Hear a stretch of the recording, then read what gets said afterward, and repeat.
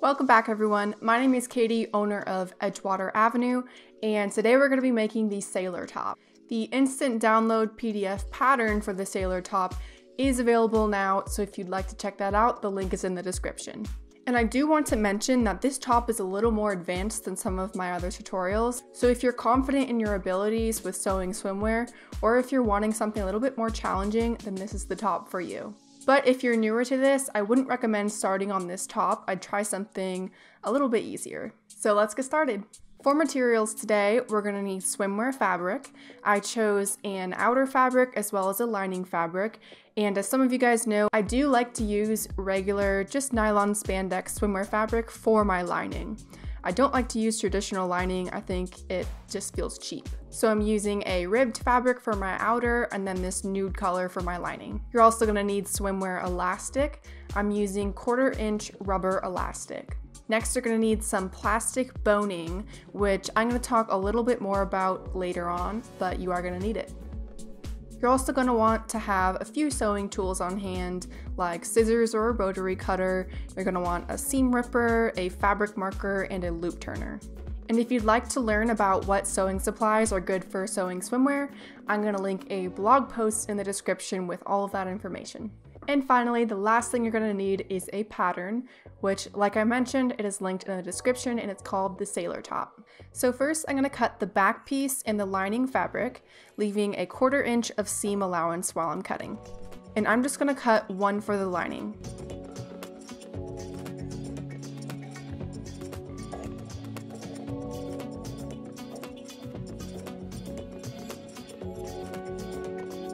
Now usually when I cut out patterns, I do use the whole pattern piece, but for this top, at least for the front piece, I found it to be a lot easier to cut on the fold. So as you'll see, I'm using only half of the pattern. And that's because cutting on the fold is gonna make it a lot easier to get that V down accurately.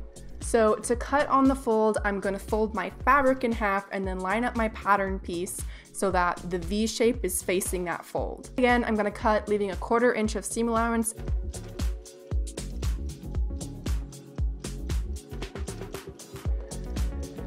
So now I'm going to repeat the cutting process just with my self fabric.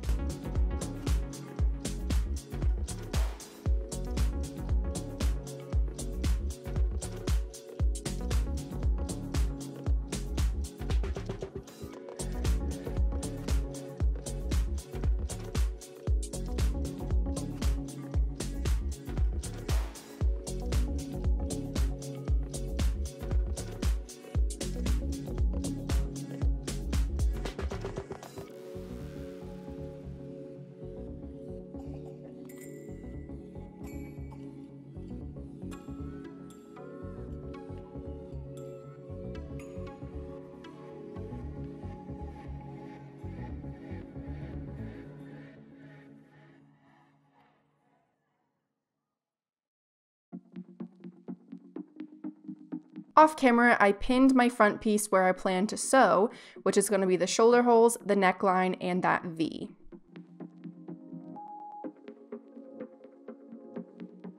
So we're going to switch over to the machine.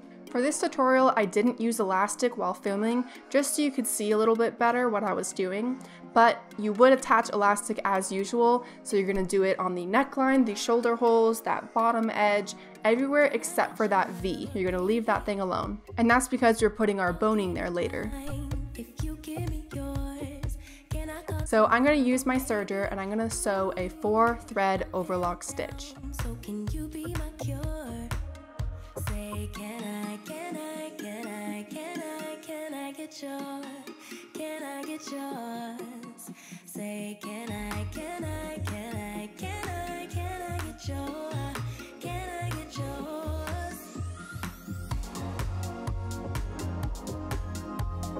Then when I'm ready to sew the V part, I'm actually going to switch over to my sewing machine and do a tight straight stitch. And I found that with the sharpness of that V, it's a lot easier to use a sewing machine instead of a serger. And usually I don't use a straight stitch when doing anything swimwear. This V part isn't gonna stretch at all, so you're good to do a straight stitch.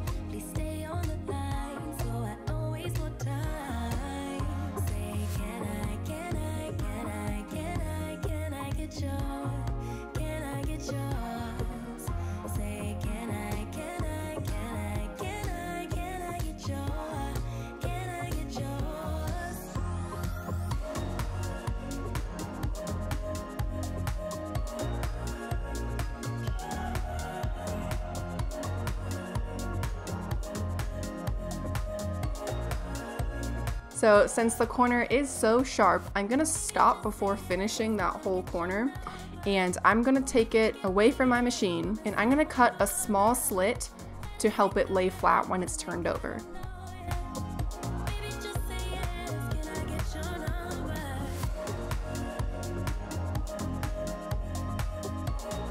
So as you can see, the V should lay nice and flat, and cutting that slit is what allows it to lay flat. So now you're gonna go back in and you're gonna secure the rest of that V with a straight stitch. So as I mentioned, we are gonna be using boning in this tutorial. And boning is a structural component of a garment that helps it stay rigid in the places it needs to be. You usually see boning in a lot of formal wear, uh, so you have a bodice piece, you'll have these princess seams right here, and a lot of the times they're lined with boning. And it just helps the piece stay a little more structured and together. So in our case, the boning is gonna help keep that V shape while it's worn. So you're gonna measure your boning so that it fits along that V shape, and you're gonna cut two pieces.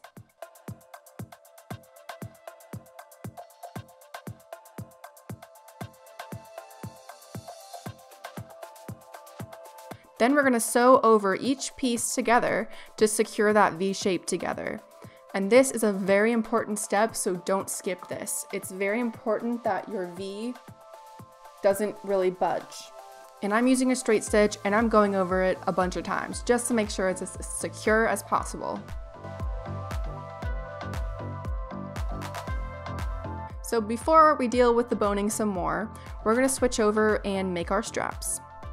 I'm cutting my straps to be one and a quarter inch and I'm making them extra long because I'm just going to go back and trim them. If you want to know exactly how long your straps should be, that information is included in the PDF pattern. As usual, we're going to fold our straps in half with right sides together and sew along the raw edges, attaching elastic as well.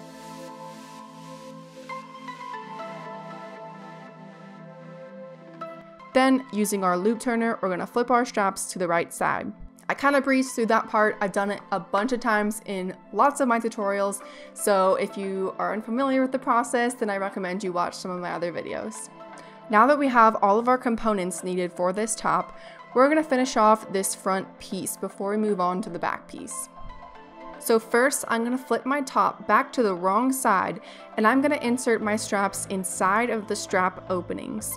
Pin them down if needed, and then you're going to tuck the excess inside of the top.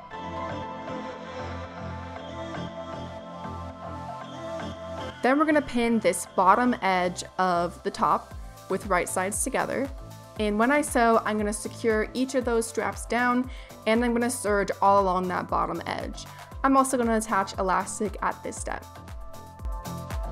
So once that's done, you're gonna take the front piece back to the right side and then it's time to do the boning. So what we're gonna do is we're gonna take our V and we're gonna insert it inside of the top so that it straddles the V shape that is part of the top already.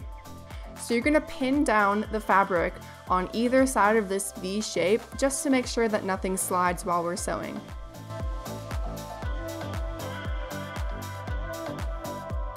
We're gonna switch over to the sewing machine and I'm gonna sew a straight stitch about a half an inch in from the edge of the V.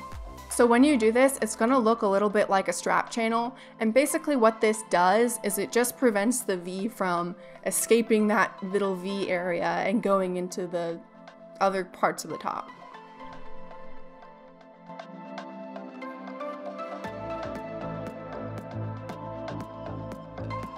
So finally, I'm gonna sew a horizontal straight stitch that attaches each of those little strap channels together. Now this isn't totally necessary, but I do think it looks better this way, and it provides an extra stitch to keep that V boning together. So we're gonna put our front piece to the side for now, and we're gonna switch gears and finish off our back piece. With right sides together, I'm going to sew along the top and the bottom edge of the back piece, attaching elastic as well.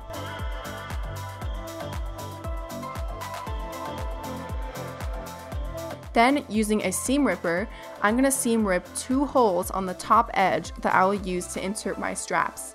These only need to be about a quarter inch, maybe even a little bit less. I'm also going to seam rip a hole where the clothing label would usually be, which is like right in the center of the back. And this hole, I'm going to make it about an inch, and this is what we're going to use to attach the sides together later on.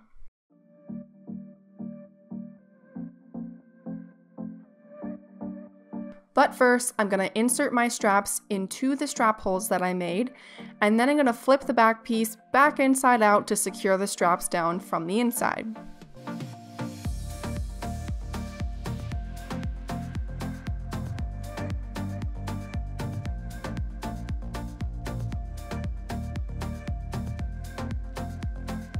So now that the straps are attached, we're going to attach the front piece to the back piece. To do this, I'm going to reach inside the one inch clothing label hole that I made, and I'm going to grab that front piece and pull it through.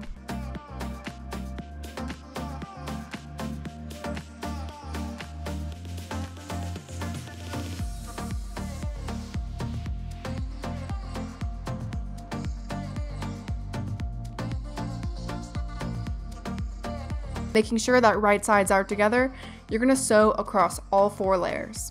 And you're to repeat this with both sides each time going through that little clothing label hole.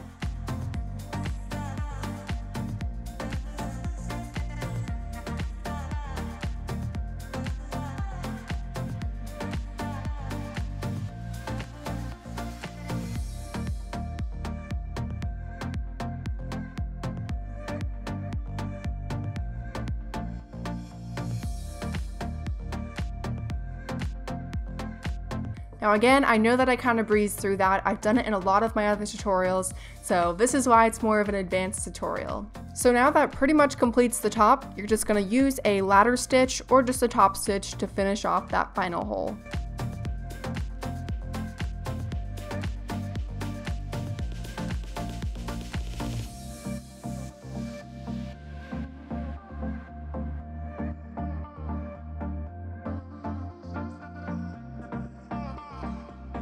And here's how it turned out.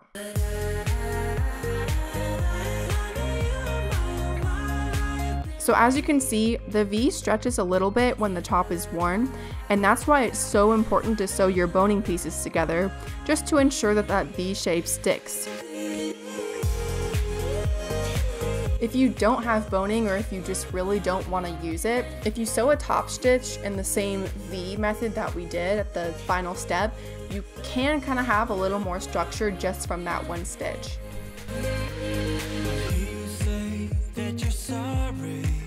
If you'd like to make the top for yourself, head on down to the description to get the link to the PDF pattern. If you haven't already, please go visit edgewateravenue.com to see all of our patterns and tutorials and lots of fun stuff there.